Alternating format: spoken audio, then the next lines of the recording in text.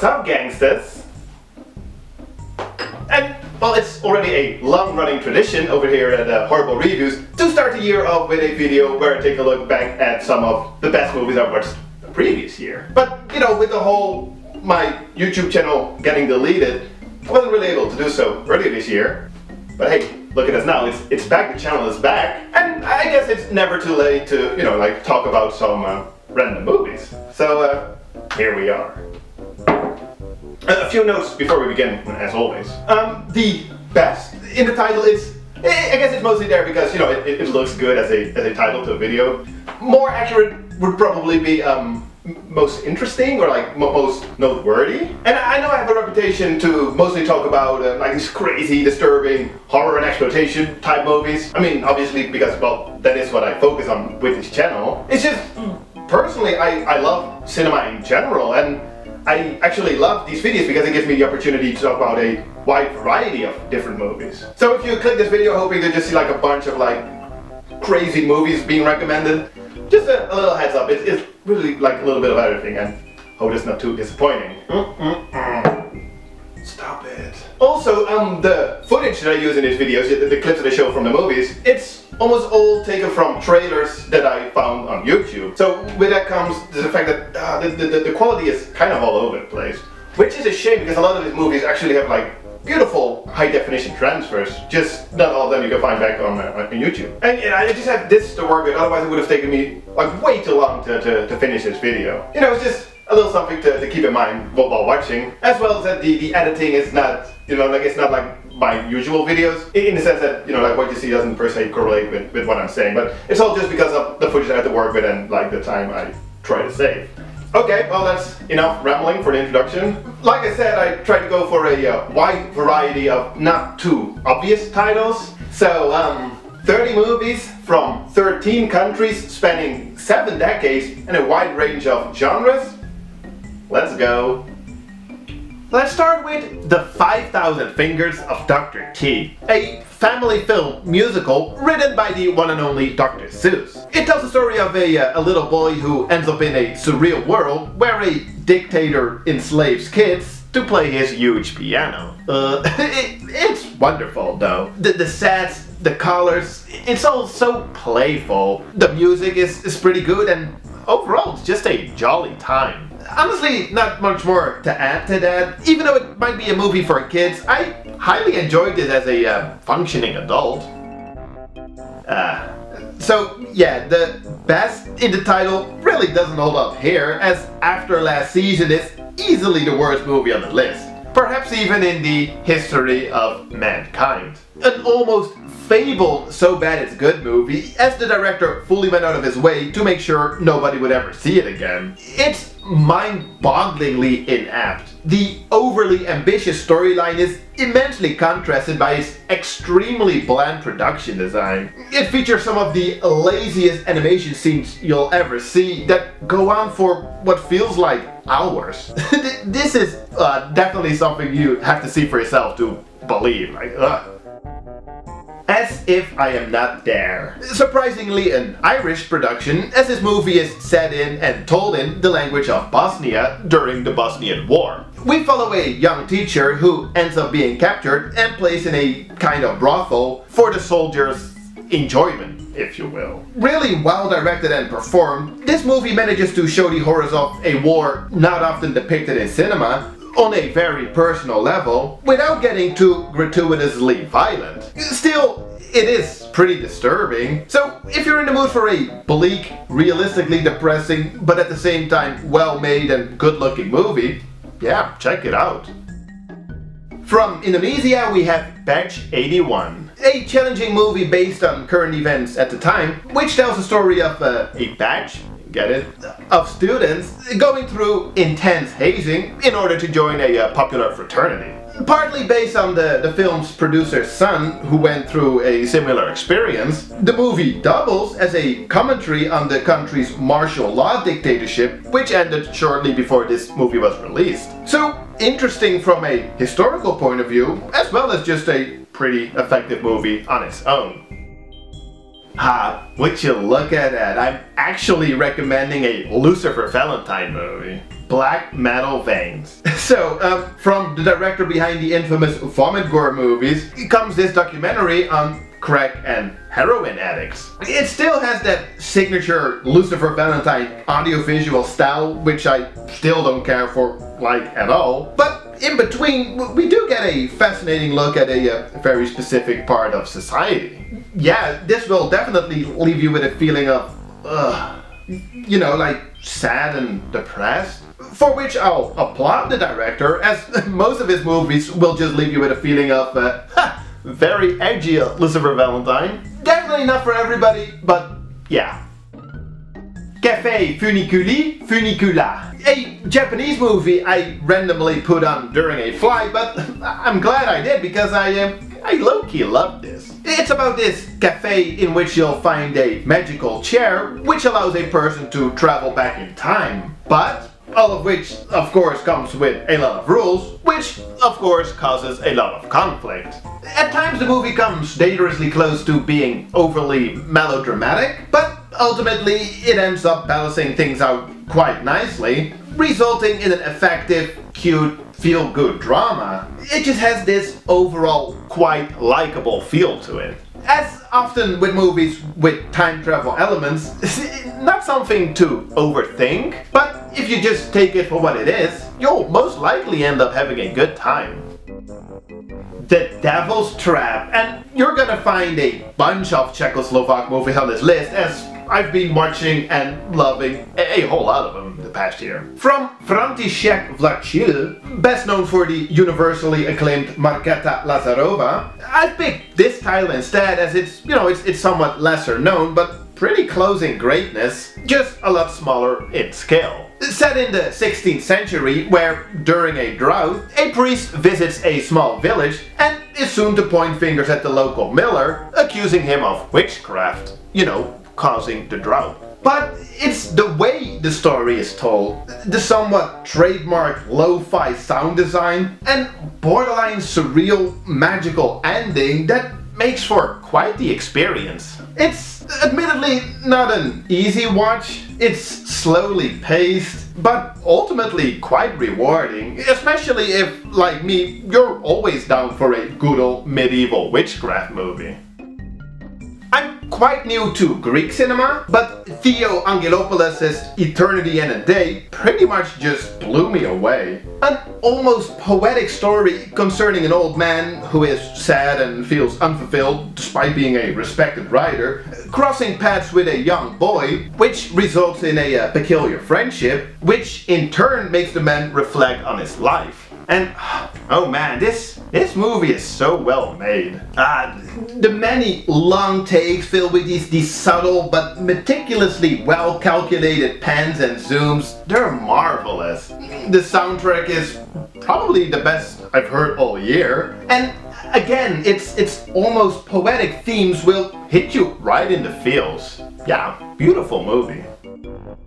And then from Poland, Ava wants to sleep. And Man, what a cute movie this is. It's a comedy about a young, naive girl who seems to keep getting herself into all kinds of wacky situations, all the while she's just looking for a place to sleep. Haven't we all been there? It's quite theatrical and most of the humor and comedic situations are based on coincidental misunderstandings, but it, never feels forced or, or, or, gets tiring. It's actually consistently pretty funny. And if you combine that with this, this sort of fabricated, out of this world vibe, again, you know, like it's, it's pretty theatrical, you got yourself quite a winner in my book. So yeah, it's a really cute, goofy little movie.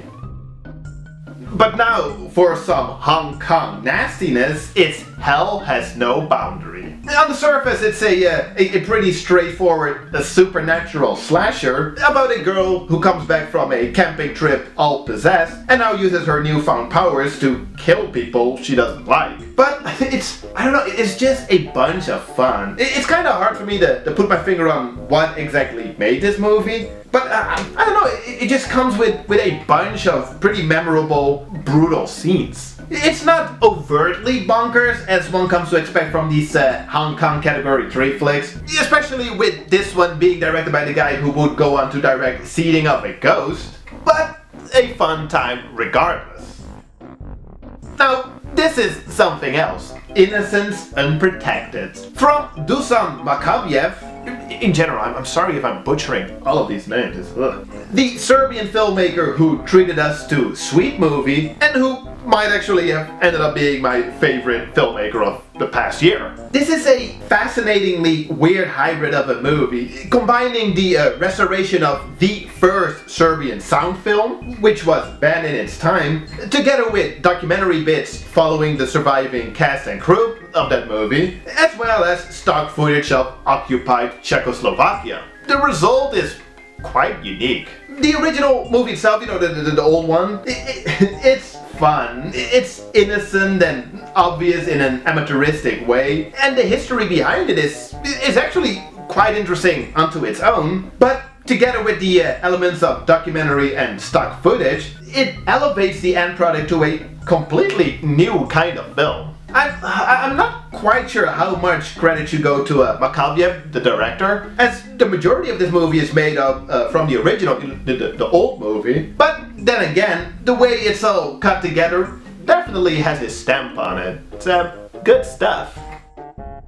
But now it's time to feel sad and depressed with Johnny Got His Gun, the only movie directed by writer Dalton Trumbo based on one of his own novels. It, wow, it, it had honestly been a while since I felt so anxious, almost nauseated while watching a movie. As for the majority of this, we follow a limpless, almost faceless, bedridden war veteran who remains completely conscious but without any means of communication, unbeknownst to the hospital staff.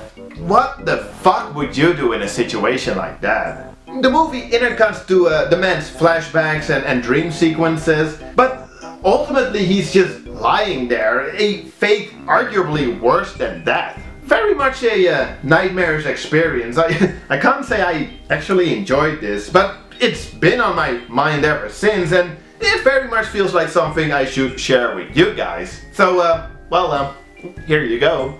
Do with it what you want. But first, Let's switch to something a little more uplifting, Loves of a Blonde. An early film from perhaps Czechoslovak's biggest export filmmaker Milos Forman. This is such a cute, charming comedy with some welcoming elements of drama about a young girl out and about to find love, which she eventually does find in this boy, who ends up not returning her calls, so to speak. It's it's so funny though. A bunch of the big set pieces, if you will, mostly with um, non-professional actors and a lot of somewhat improvised dialogue, they work like a charm. You could and can read some social commentary into all of this, but at the very same time, you can also just simply enjoy this as a, you know, just a really cute romantic comedy.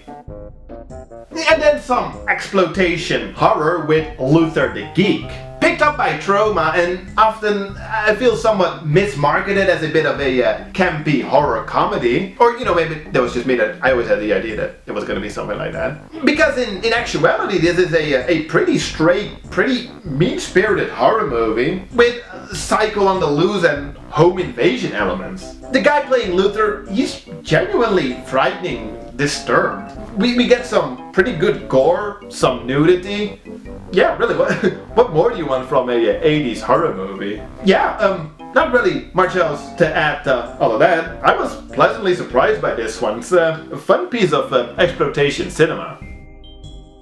And back to Czechoslovakia for Morgiana a little slow, took me a while to get into, but eventually, in the end, it won me over with, um, well, probably first of all, an amazing soundtrack by the guy who also scored Valerie and her Week of Wonders, but also just a bunch of nice visuals, specifically the, uh, the costumes and, and makeup, as well as the location and sets, as well as um, some pretty wild handheld POV shots from the perspective of the titular cat. Yeah. It's a surreal-ish, horror-ish movie. The plot didn't even really make all that much sense to me, or perhaps more so that it didn't really grab me all that much. And like I said, it, it honestly did take me a while to get into, but as an audio-visual experience, I, yeah, I, I very much enjoyed it.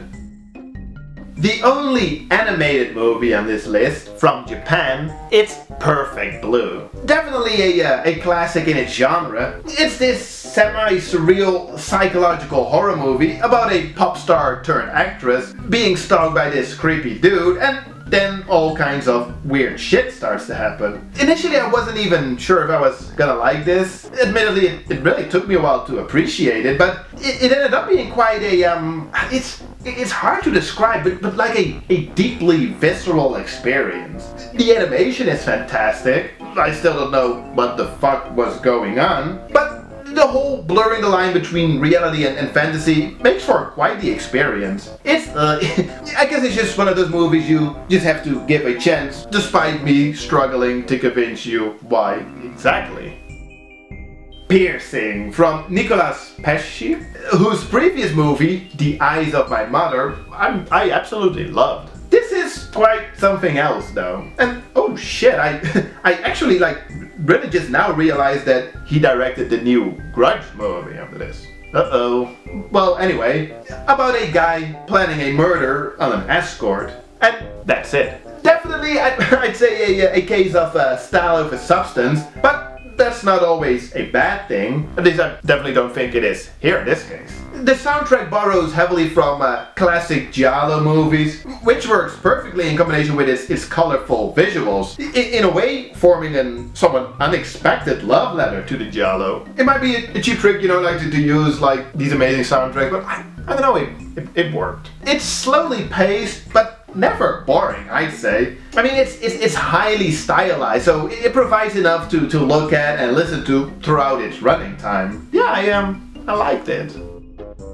Ah, Pretty Poison. A blind buy that I got purely based on the Blu-ray cover, and well, the fact that it stars Anthony Perkins. And well, I'm, I'm glad I picked it up because, I don't know, I feel like it's a bit of a hidden gem. Anthony Perkins stars as this man recently released from a mental institute, who now tries to impress a young girl by pretending to be a CIA agent, but soon gets more than he bargained for. I, uh, I, just love the awkward chemistry between the two leads. It works really well, as well as the tone of the movie, which flows seamlessly from quirky dark comedy to romance to thriller and back. I, I like how story-wise things just keep escalating, even though it, it ends somewhat anticlimactically. It's still a good time. Honestly, it's, it's, it's weird that I literally never hear anyone talking about this one. It's, it's pretty good.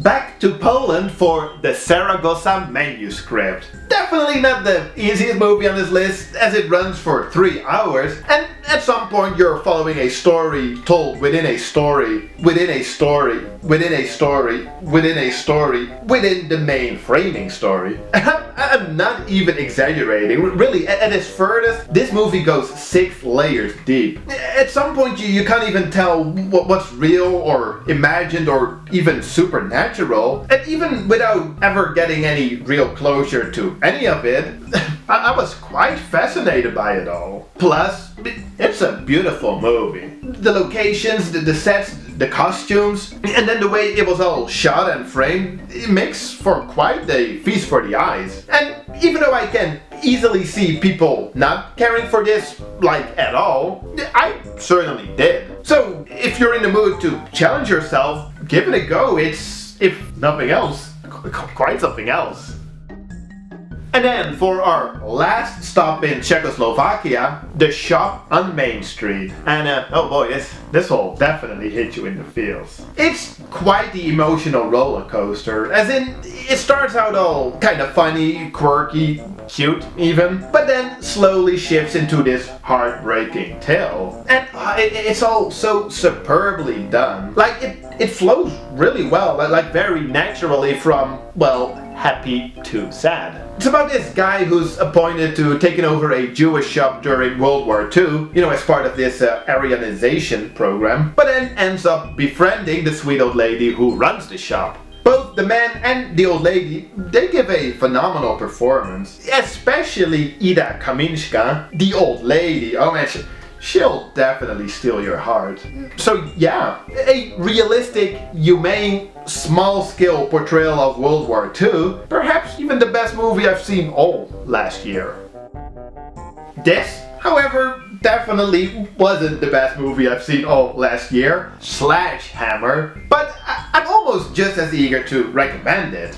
Almost. One of the first shot on video releases in the early to mid 80s, watching Sledgehammer, a supernatural slasher I guess it is, is quite the excruciating experience. Establishment shots and, and, and slow motion shots go on for almost literally forever. But that is all part of what makes Sledgehammer the uh, so bad it's kinda okay absolute mess that it is. So hey, if you want to see a bunch of 30 something year olds pretending to be horny teenagers having completely uncalled for food fights that also go on for way too long, this is your jam. Definitely the type of movie you want to be watching with some friends and some drinks and many more drinks.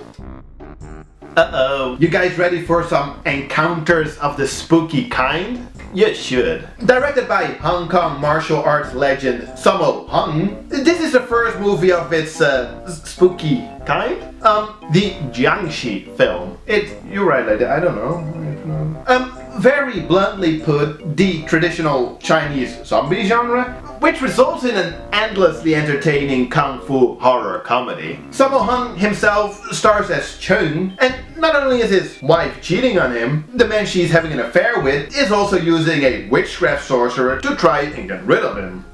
The kung fu is impressive, the horror is fun, the comedy is borderline slapstick, and uh, somehow it just all works perfectly fine together. And to top it all off, you'll get perhaps the greatest last 10 seconds to a movie in cinematic history. you won't be disappointed.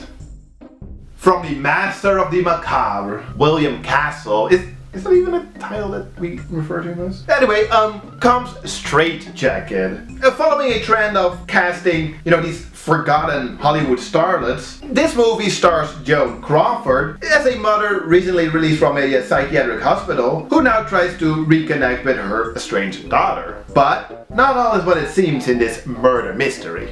Crawford is fantastic and definitely, at the very least, tries to steal the show, but I quite enjoy the performance of the daughter as well. It borders on being somewhat gimmicky, I feel, but the movie does play out the whole thing rather straight. Maybe it's just like coming from William Castle, you expect it to be gimmicky, but no, this is this is like serious stuff. And nothing wrong with that, it, it actually works pretty well in this case. Not sure what else to add to that. You know, sometimes it can be just that, and in this case, it is just a fun 60s psychological thriller. Watch out, it's Strangler versus Strangler. From former Yugoslavia comes this deliciously dark horror comedy. Seemingly, at least somewhat inspired by Psycho. We follow this troubled mama's boy who basically strangles anyone who doesn't like carnation flowers. Okay. And then there's this rock musician who for whatever reason, I, I never really caught this in the movie, gets spiritually connected to the Strangler and oh, oh, oh. And even though the movie does come with a lot of violent crimes, it, it truly is mostly a comedy. Just a rather dark one. It's pretty quirky, it explores themes like violence in media. We have this quite memorable lead performance and really overall it's just bunch of fun. I, I, I actually really enjoyed this one. Let's just hope that um, in the future it'll get a proper um, home media release preferably like on blu-ray because well there isn't. From Argentina comes Tangos, the exile of Gardel. I saw this movie while working my way through Gaspar Noé's filmography, as he was a second assistant director on this movie, but this really has nothing to do with him, like, at all. It tells the story of a group of Argentinians exiled to France, trying to put on a tango performance, all the while dealing with shitty day-to-day -day life in a foreign country away from home and family definitely took me quite a while to get into this as I had no idea what the hell was going on. But I ended up loving it.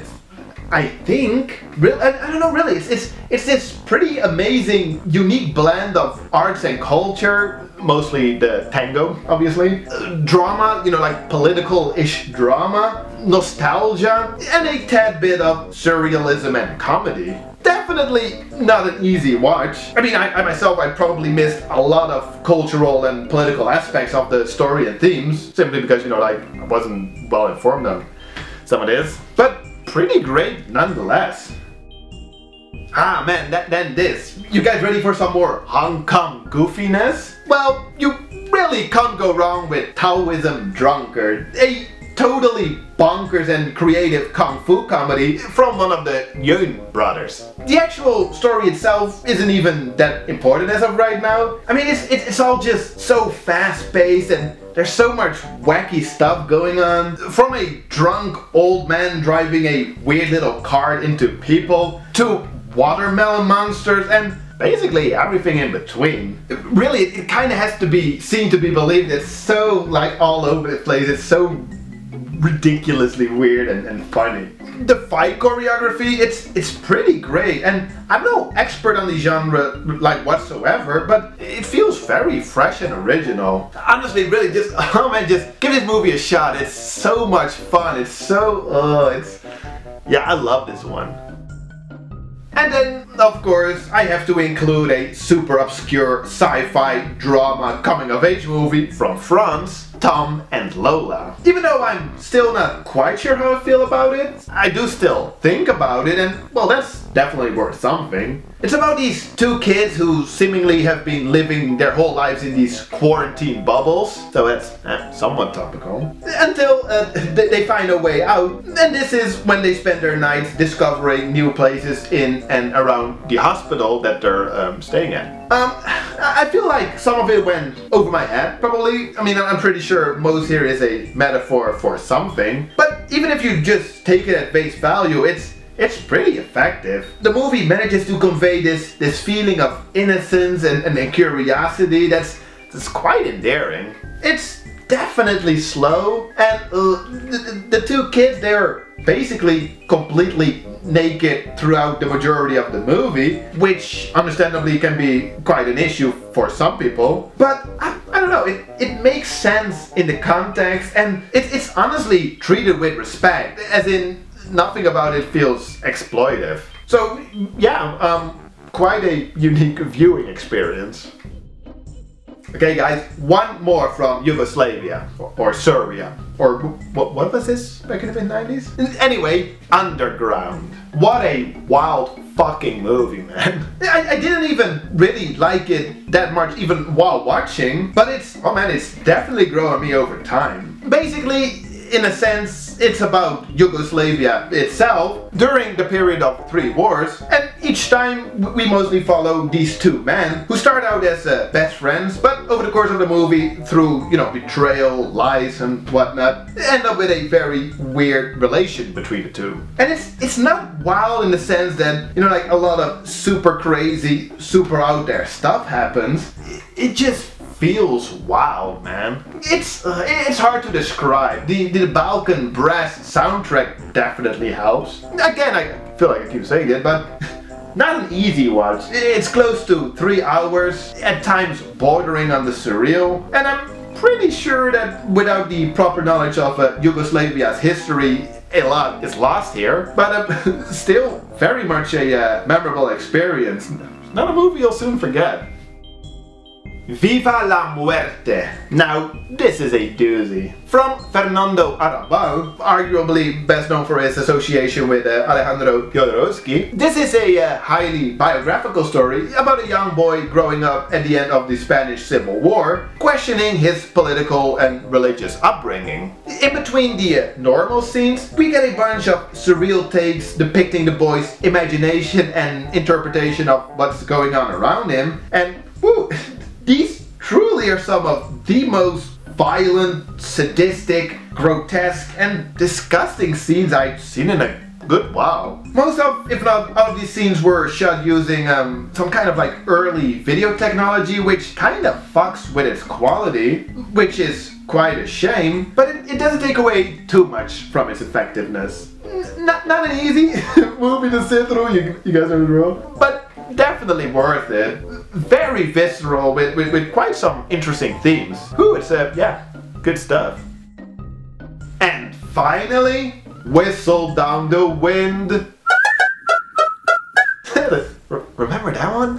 Um, a rather classy crime drama from England. I really like the premise here. A murderer on the run takes refuge in a uh, farmer's barn, where the three kids of the farming family find him and mistake him for Jesus Christ. And it's pretty great.